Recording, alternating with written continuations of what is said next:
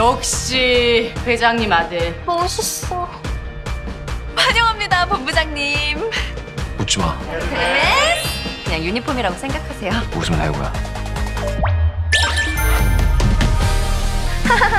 분명 내가 가짜로 웃지 말라고 얘기한 것 같은데? 일하는 중이잖아요. 왜 그렇게 아등바등 살아? 모두가 떠받드니 뭐 왕처럼 살았겠죠. 친절한 사원님은 이리 오시고. 싫은데요? 내가 왜? 누가 보면 친절한 사랑씨 좋아하는 줄 알겠네. 아니라고!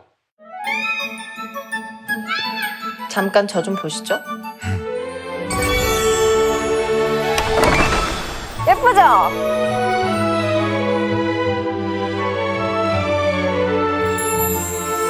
내가 지켜줄게.